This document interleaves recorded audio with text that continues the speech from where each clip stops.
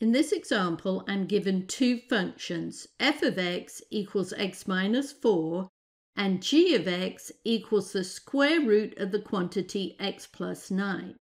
And I need to find the sum function f plus g, the difference function f minus g, the product function f times g, and the quotient function f divided by g and then determine the domain for each function in interval notation.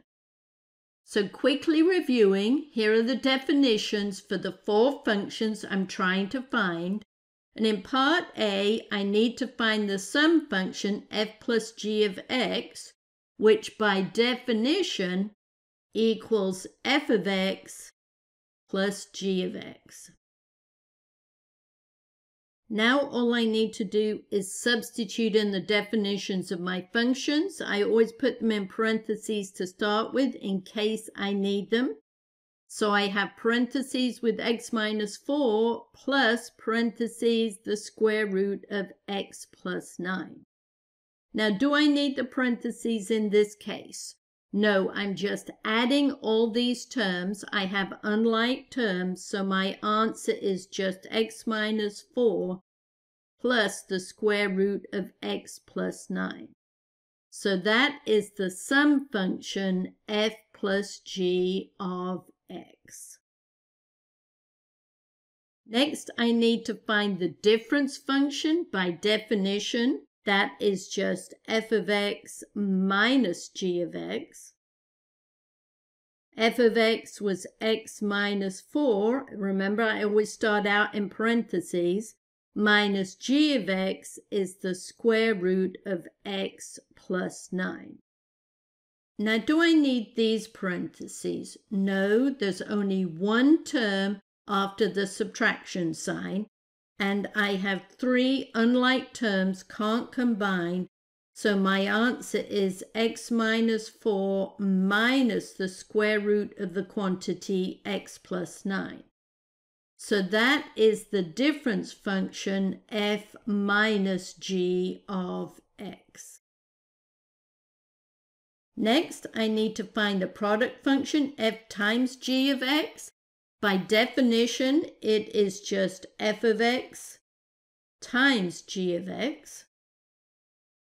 And f of x equals x minus 4 times g of x is the square root of the quantity x plus 9. Now, do I need these parentheses? I definitely need the first set. I need the x minus 4 to be in parentheses because it is multiplied by the square root of x plus 9. Now that is one way of writing the answer. The other way is to multiply this out and I get x times the square root of x plus 9 minus 4 times the square root of x plus 9. So those are both two ways of writing f times g of x. It can be written either of those two ways. And lastly, I need to find the quotient function f divided by g of x, which by definition is f of x divided by g of x, provided g of x does not equal 0. So what is f of x? It's x minus 4. Now I don't need parentheses in this case because the division bar is a grouping symbol. Divided by g of x is the square root of x plus 9. Can I simplify anything? No. That is just the new function f divided by g of x provided my g of x function does not equal 0. And we'll take that into account on the next slide when we look at the domains. Lastly, I need to find the domains in interval notation of the four functions I found on the previous slide. Now, there are two different ways of doing this. One is to look at the unsimplified form of each function, and the second method works from the domains of f and g. I prefer this second method. So looking at f of x, which is x minus 4, a linear function, it's just a polynomial. And what's the domain of every single polynomial? That's easy. It's all real numbers. And we write that in interval notation as negative infinity to positive infinity. Now, g of x is not a polynomial. It has domain issues because we want to avoid the radicand or the x plus 9 being negative. So to do that, we take the radicand x plus 9, and since we don't want it to be negative, we want it to be positive or 0. That means greater than or equal to 0. Subtracting 9 from both sides, I get x is greater than or equal to negative 9. Graphing that on the number line, Here's negative 9. And it's greater than or equal to shade to the right. Since it includes the negative 9, put a square bracket on the negative 9. But don't forget this keeps going to positive infinity.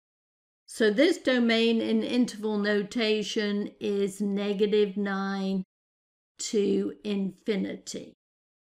Now I need to find the domains of the sum, difference, and product functions. Luckily, the domains of these three functions are identical, and the domains of each of these functions is the intersection of the domains of f and g. All this means is what do these two domains have in common? Well, remember, all real numbers if I graph it, looks like everything on the number line. And what do these two domains have in common? Well, just this part here. They do not have this part here in common. So their domains are negative 9 with a square bracket to infinity for all three of those functions.